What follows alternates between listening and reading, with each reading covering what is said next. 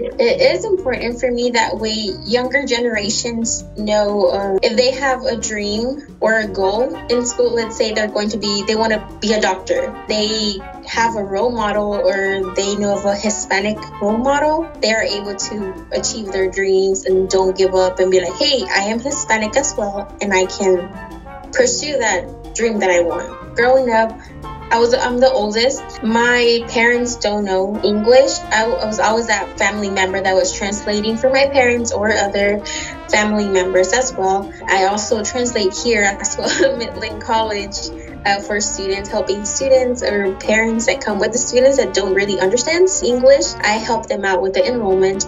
I'm making my parents and family proud of being a Hispanic woman and being over here. And I set like, an example for my cousins as well and other younger generations. A lot of people don't know what Hispanic means or they confuse it with something else.